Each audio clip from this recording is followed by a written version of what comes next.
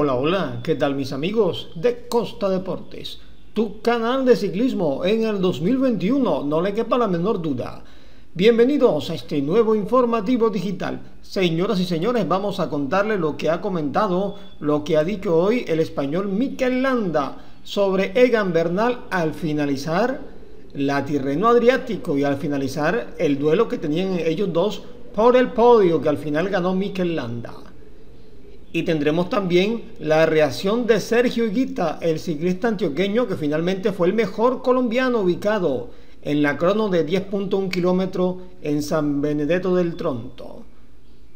Estaremos también hablando de Nairo Quintana, el ciclista nacional que hoy defendió como gato boca arriba su puesto duodécimo en la clasificación general de la Tirreno Adriático. Estaremos conversando con el analista de datos del Team Arkea Sansi refiriéndose al rendimiento de Nairo. Y bien mis amigos de Costa Deportes, antes de empezar con la información les pido por favor se suscriban a nuestro canal de Facebook, allí en la descripción les dejo el enlace. Mikel Landa le ganó el duelo a Egan Bernal por el podio. Estaba tercero Landa, cuarto Egan Bernal antes de la crono y después de la crono permanecieron en la misma casilla.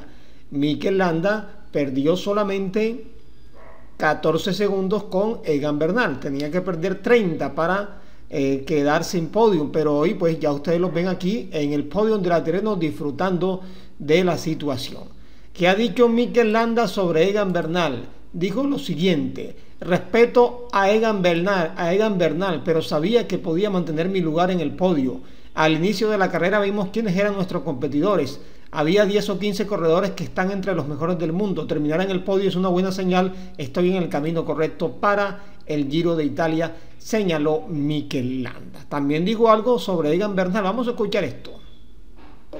very happy, no? Uh, we know before the race that it was difficult also being top 10, no? Uh, we had here uh, a very, very good contenders and at the end finishing on the podium has been great. Dijo sobre Egan Bernal que era el favorito para llevarse el Giro de Italia. Le colgó ya el cartel de favorito Mike Mikel Landa a Egan Bernal, porque recordemos que Mikel Landa va, con, va al Giro con el Bahrein Victorious. El Astana al fin fue el mejor equipo, ya vimos la imagen del equipo kazajo, estuvo una buena presentación y este es Wolfgang Aer, el ciclista eh, de Bélgica que consiguió la victoria de etapa, le descontó tiempo hasta de Pogacar en la lucha por el título, pero no pudo, era, era mucha diferencia en tan poco kilometraje, un minuto 15 segundos, mucha diferencia. De pronto si hubiese sido más largo tal vez la cosa cambia. Bueno, acerca de lo del Giro que decíamos que había dicho Mikel Landa sobre Egan, dijo lo siguiente. Egan Bernal parte como favorito número uno para el Giro de Italia, señaló Mikel Landa. También está Vincenzo Nibali, que ya lo ha ganado varias veces. También está Renko Evenepoel, que no sabemos cómo andará. Y otra gente buena, señaló y finalizó Mikel Landa. Bueno, Egan que terminó cuarto, hizo una buena carrera, desafortunadamente pues falló en la etapa de clasicómanos, pero le fue bien al ciclista colombiano. Mientras tanto, en el lote del Educación Nipo, Sergio Higuita, el mejor colombiano hoy en la clasificación de la crono, terminó satisfecho el ciclista antioqueño por el rendimiento de, en la etapa de cronómetro. Lástima, pues eh, se malaya un poquito Sergio por eh, esa mala situación que vivió durante la etapa para clasicómanos de la terreno adriático que fue la número 5, cuando el frío invadió su cuerpo, congeló su sangre y lamentablemente pues Higuita allí sufrió de hipotermia, reconoce que eh, le faltó, digamos, a él y al equipo un poco de viveza para ponerse ese esa ropa de frío que le hubiese servido, por supuesto, muchísimo. El balance de este terreno adriático ha sido muy bueno por las sensaciones que me deja y un poco agridulce por el fallo que tuvimos en la etapa de frío, donde eh, me demoré mucho ponerme la ropa de invierno y me dio hipotermia, que esto nos lastró la clasificación general que íbamos demasiado bien, porque hoy en la crono estuve eh, muy bien eh, adelante, también en el top 25 que para nosotros los colombianos es muy difícil una corona de este tipo y estuvimos muy bien. El equipo esta semana trabajó excelente en todas las etapas, especialmente la tercera, la cuarta, estuvimos muy adelante, me ubiqué de cuarto y la etapa de montaña tercero.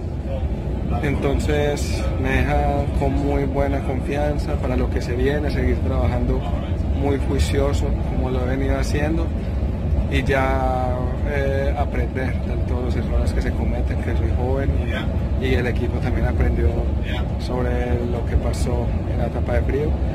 Eh, lo que se viene es la Milán San Remo, una carrera que hago por primera vez en mi vida, una distancia demasiado larga, 300 kilómetros, que pienso que con esos días de recuperación la podemos hacer muy bien, así que disfrutaré bastante esta carrera y daré lo mejor de nuevo, así que nos vemos en la Milán San Remo. Bueno, muy bien, mis amigos de Costa Deportes, tu canal de ciclismo en el 2021, para finalizar este informe ya con la reacción de los colombianos en el último día, la séptima jornada del Tirreno Adriático, nos queda hablar de Nairo Quintana, el ciclista colombiano que tenía como misión esta mañana defender su puesto 12 de la clasificación general y al fin consiguió el objetivo. Quintana pues no marcó el mejor tiempo entre los colombianos, fue un tiempo eh, digamos, cómodo entre los escaladores, pero eh, eso le alcanzó para defender su duodécima casilla en la terreno adriático. Nairo, otro que sufrió por el tema del frío en esa etapa amarga para Colombia, la número 5 eh, de la Tirreno Adriático. A propósito, Nairo ha reaccionado a cómo le fue en el la Tirreno Adriático. La gente está pendiente, atenta siempre a los mensajes que publica el señor Quintana en sus redes sociales, porque Nairo es el, ídolo del ciclismo colombiano. Bueno, Nairo los complació y publicó esto en Instagram. Ha dicho, hoy culminó la Tirreno Adriático, me gocé cada etapa y sigo con toda la actitud en mi recuperación. Gracias a todos. Muy bien, don Nairo, gracias por brindar siempre ese espectáculo y estar disfrutando del ciclismo para toda Colombia. A propósito de Nairo, este señor que lo vemos aquí conversando con él se llama Flavien Suenen y es el entrenador, el analista del equipo del Arkea. Ha dicho que hay muchas lesiones interesantes tras la crono en el día de hoy para Nairo Quintana. Ha dicho que la crono no le convenía y perder entre 10 y 15 segundos es eh, bueno lo más normal eh, por kilómetro, ha dicho de Nairo Quintana.